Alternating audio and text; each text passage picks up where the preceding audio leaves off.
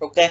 Rồi giờ để tôi giải cho bạn coi cái bài này ha. À nãy giờ mình suy nghĩ rồi ha. Giờ anh giải. Bây giờ các bạn coi đây mình sẽ có cái thuật toán sau. À thì cái thuật toán Boolean là như thế này. À, bước một á, là mình tìm tất cả các các cái literon á, mà sao nó có giá trị như nhau trong tất cả các hàng bằng một à, tức là ở đây chúng ta dò dò theo từng cột đúng không? À, và chúng ta coi coi là à, tại cái giá trị bằng một nào cái hàng nào nó giống nhau hết tại bằng một á, chúng ta sẽ chọn hàng đó.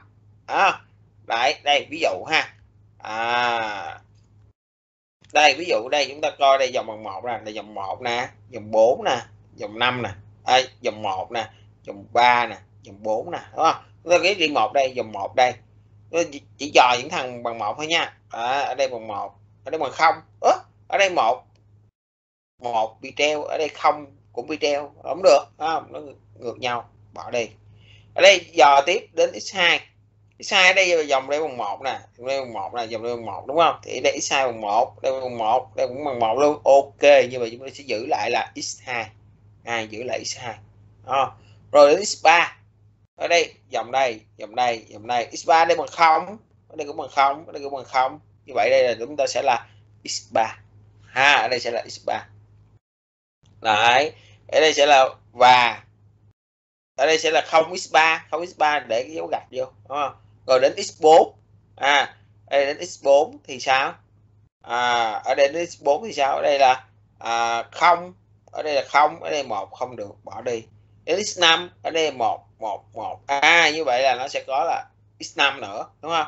Như vậy đây chúng ta sẽ có cái chỗ này nó là gì? À ở đây chúng ta sẽ có cái hàm h mà chúng ta dùng đúng cái thuật toán này nè. À đấy cái bước số 1 của chúng ta đấy ha. Thì nó sẽ là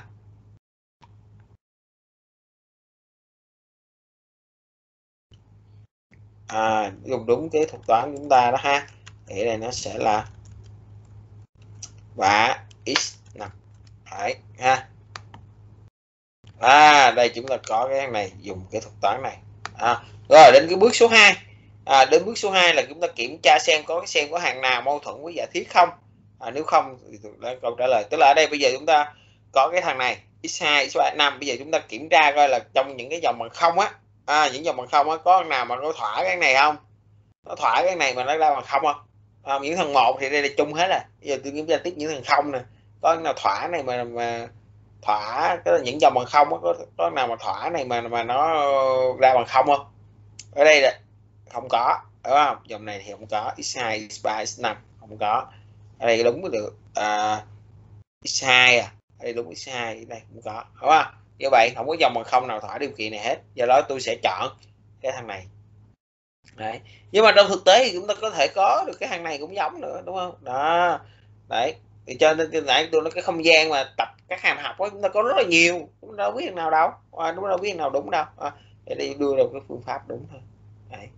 thì các bạn thấy à, cái thuật toán này nó à, nó nó làm sao? À, nó nó cho chúng ta cái cái cái cái cái, cái, cái à, cái thuật toán Boolean này nó chúng ta một cái hàm mà nó nhất quán với cái dữ liệu của mình. À như vậy ở đây là gì? Ở đây là cái cái mô hình nhất quán là gì? Mô hình nhất quán chính là cái mô hình mà nó à, đồng nhất với cái dữ liệu của chúng ta. À đây thì cái đây chính là cái phần mà các bạn thấy nó đồng nhất với dữ liệu của mình. Đấy. Ok thì uh, cái phần bài học hôm nay thì tôi đã giới thiệu các bạn về cái uh, thuật toán à, uh, Boole conjunction. À đấy nhưng mà cái thuật toán này tôi như tôi cũng đã nói ban đầu là cái thuật toán này tôi thuật toán đơn giản nhất à, cái mô hình này mô hình cơ bản nhất trong cái những cái mô hình học máy à, thì uh, trong cái uh, nội dung bài sau thì tôi sẽ trình bày tiếp với các bạn về cái uh, mô hình về à, à, mô hình về uh, cây quyết định à thì mô hình cây quyết định cũng là một dạng của mô hình nhất quán nhưng mà nó ở cái mức cao hơn à thì đó là mô hình về cây quyết định thì cái phần này mình sao trong buổi sau. Ok à, thì bài học hôm nay của chúng ta đến đây là hết ha. Xin thân ái và chào tạm biệt các bạn. Chào tạm biệt các bạn. Hẹn gặp lại các bạn vào buổi học sau.